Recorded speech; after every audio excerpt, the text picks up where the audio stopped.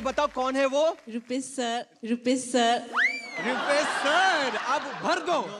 दोस्तों आज के एपिसोड में फिर से सुष्मिता ने नोटबू के सामने रूपेश को अपना फेवरेट कहा। जी दोस्तों नोटबू और सुष्मिता के परफॉर्मेंस के बाद एंकर जॉय नोटबू के साथ एक गेम खेलते हुए नज़र आते हैं जहाँ नोटबू को सुष्मिता की फेवरेट कुछ चीज़ें के बारे में बोलना होता है। और आंसर गलत निकला तो पनिशमेंट के दौर पर स्नो स्प्रे लगता नोटबू के मुँह पर। और इसी के चलते नोटबू को पूछा जाता है सुष्मिता की फेवरेट कोरियोग्राफर कौन नोटबू जानते हुए भी जेलस फील करके आंसर में नहीं बताते फिर उसके ऊपर सुष्मिता स्प्रे करते हुए दिखाई देता है। तो दोस्तों, आप सभी को फनी मोमेंट कैसा लगा? कमेंट करके ज़रूर बताए। और ऐसे ही सभी अपडेट पाने के लिए बने रहिए हमारे साथ इसी चैनल पे।